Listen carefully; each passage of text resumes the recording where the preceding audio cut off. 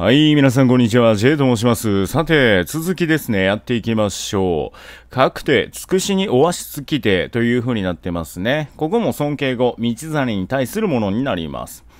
こうしてつくしにご到着になりですね。物は暴れに心細くおぼさるるゆうべですね。ここも尊敬語、道真に対してですね。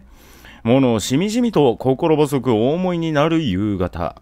遠くの方ですね、にところどころ煙立つをご覧じてですね、これも道真です。もう全然道真が主語とは書いてないですね。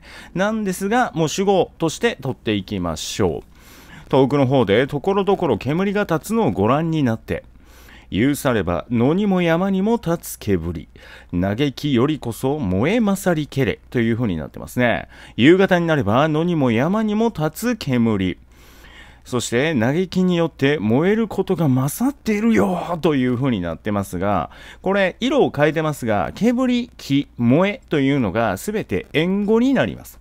で、あの木です。木。ね、ウッドですね。で、えー当然煙は燃えないと立ちませんから、ここの燃えというのと煙というのも、これ縁語と繋がっております。で、嘆きによってますます激しく燃えるよという風になってますよね。要するにですね、ここ掛け言葉になってるんですよ。煙が立ってるなあ。そして投げる木を投げることによってますます激しく燃えていくよね。その投げた木というのが私の嘆きみたいな感じですね。掛け言葉になっているので嘆きと木ですね、えーしっかり取れるようにしておいてください。また、雲の浮きて漂うをご覧じて、ご覧になってですね、今度また、えー雲が漂っているのをご覧になって、道真が和歌を作ります。山分かれ、飛びゆく雲の帰り来る。影見るときは、なお頼まれぬ。という風になってますね。山から別れ飛んでゆく雲が漂ってくるよと。帰ってくるよって感じですね。その影というのは姿です。姿を見るときはいつも自然と当てにしてしまうことだという風になってますね。この例がですね、自発の助動詞。で、このぬがですね、完了の助動詞ということになります。で、なんかどういうことなんこれって感じしますよね。これも実はですね、雲が帰ってくるということに、ちょっと自分の気持ちも入れてるわけですよ。なので、同じように私もまた都へ帰っていけるように、ちょっと当てにしてしまうと。雲がこうやって帰ってくるんだから、私も今日の方へ帰っていけるのでは、みたいな感じですね。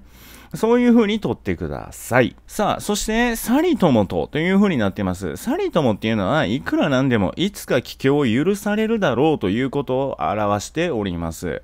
まあ、いくらね、えーこうやって罪だと言われてね、えー太宰府に飛ばされたとしても、まあ、無実やしね。まあ、いつか帰郷許されるだろうというふうに、ようおぼし召されけるなるべしというふうになってますね。おぼし召すというのも尊敬語ですね。これ、道真に対するものになります。自分の身の上をお思いになったのだろうという感じですね。うん、許してもらえるだろうという感じですね。そして、月の明るい夜に、海ならず、たたへる水の底までに、清き心は月ぞ照らさむという和歌を読んでます。海どころではなく満ちている水の底の方にまで清き心は月が照らしてくれるだろうというね。清く澄んだ心というものは月が照らしてくれるよって言ってますね。これは一体何を言ってるのかというと自分のね無実の罪で流されたが心は澄んでいる。あくまで無実なんでね。道真は特に何も悪いことをしてないからそれはやはり月が照らしてくれる。つまり天はお見通しのはずなんだという意味の和歌を読んでるんですよね。この辺はですね、道真らしい感じですね。無実の罪で流されて自分は何も悪くない。心は全然どす黒く、どす黒くない。そんな清く澄んだ心というのを天はお見通しだというお話ですね。これ、意図賢く遊ばしたりし、たりかしと。非常に立派にお読みになったことよという感じですね。で、下に、えー月、日こそは照らし玉わめとこそはああめれというふうになってます。この玉はというのは、この月や日という点ですね。月とか太陽のことです。これ。月日というのじゃなくてね、時間のことじゃなくて、月や太陽のことです。で、このアメレというのは、もともとアルメレというラヘンの連帯形、それが発音便がしてアンメレという形に変わり、アメレという風になっています。だから本当に月や太陽こそは照らしなさるだろうということであるようだというふうになってますね。うんうんって感じしますが、要するにですね、えー、天というものは、えー、自分のことを照らしてるだろうというふうに思ってるわけですね。さあ、そして、つくしにおわします。これも道真が主語ですね。つくしにいらっしゃるところの、えー、門ですね。固めおわします。固めていらっしゃるというね。え要は、固く閉ざしているということになるんですけども、つくしにいらっしゃるところの御門を厳重に戸締まりし、謹慎していらっしゃるよということですね。ここ、謹慎するというふうにしっかり理解しておきましょうね。問題としてちょこちょこ聞かれたりするので、これ、道真のどんな様子なんていうと、家を出ずに謹慎している様というふうに答えましょう。はい。そして、この第二というのは、これ、太宰府のことを指してるんですけども、の居所は、遥かなれども、牢の上の河原などのという風になってますね。太宰府、時間の居場所は遠く離れているが、えー、高殿の上の河原などが、心にもあらずご覧じやられける。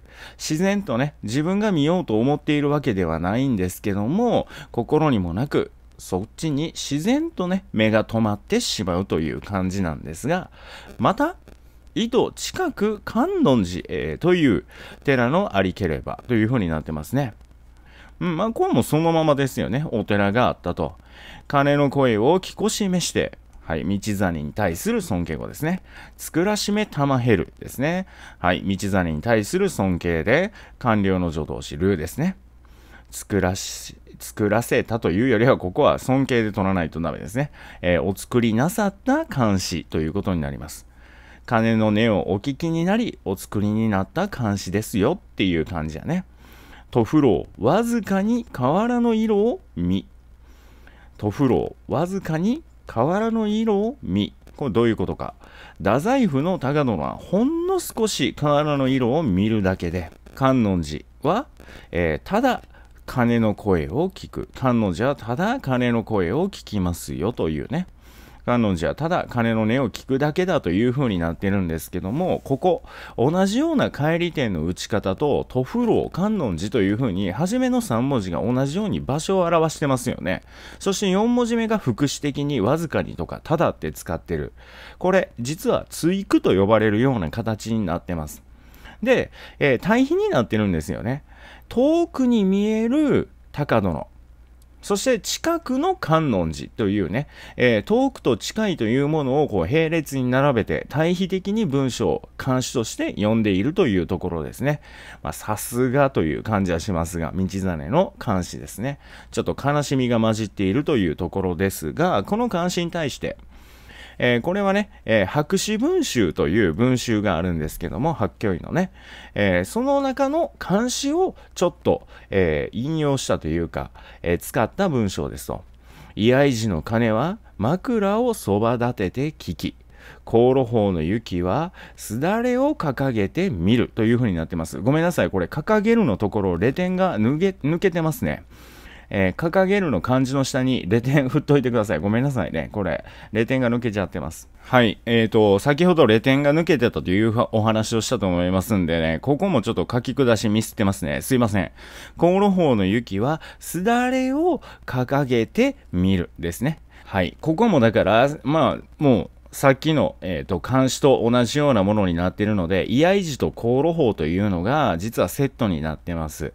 居合時というのが、航路法の近くにあるお寺なんですよね。だからここもセットで使って、ちょっと追句的になってるという感じね。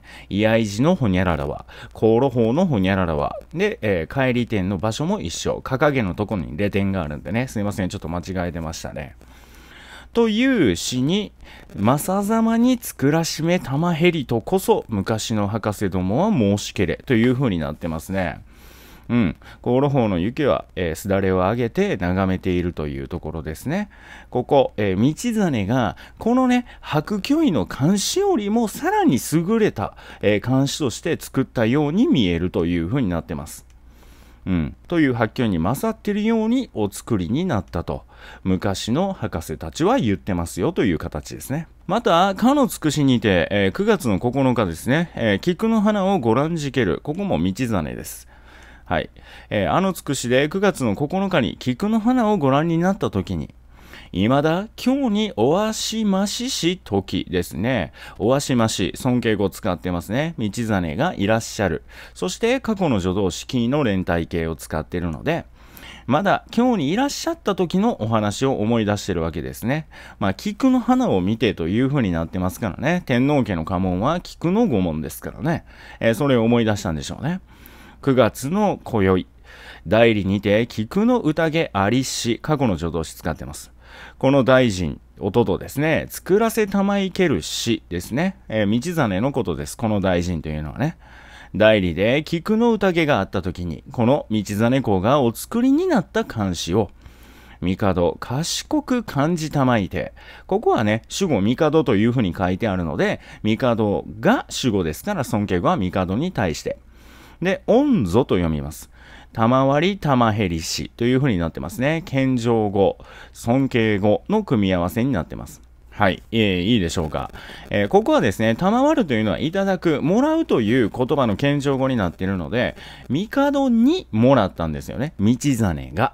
道真が帝にもらったやから、謙譲語というのは、目的語を高めるので、目的語、帝になります。そして、尊敬語は主語を高めますから、道真というふうになります。いいでしょうか。ここちょっとね、ややこしいですけども。で、その下、玉へーという風に A の音になっているので、完了の助動詞に過去の助動詞、キーの連帯形ですね。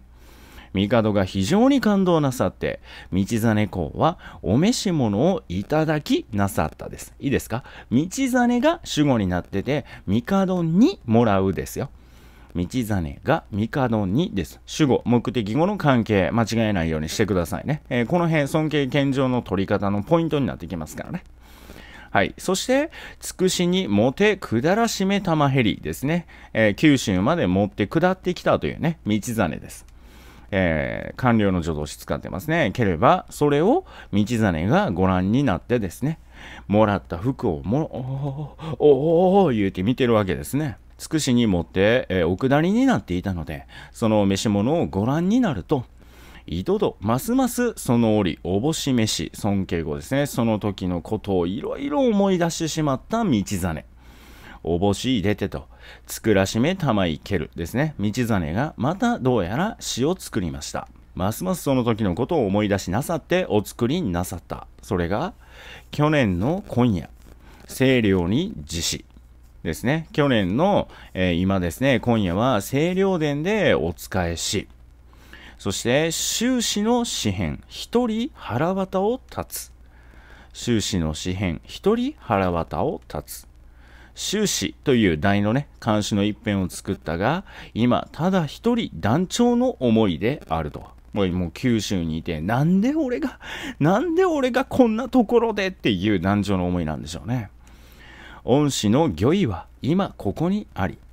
もうね、帝からのね、褒めてくださったお召し物は今ここにあって、捧げて持ちて毎日横を拝す。私はその服を捧げ持って毎日残りがを拝していますよというね。この残りがというのは、その天皇の残りが、天皇からいただいた残りがやから、その代理の思い出とか、えー、宮中でのね、いろんなことっていうのを思い出してるんでしょうね。その服を頼りにしながら。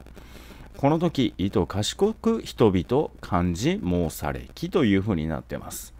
はい、感動なさったというふうに言われてるわけですね。この漢詩は非常に華々しく人々が関心申し上げたというね、えー、かなり有名な漢詩になってます。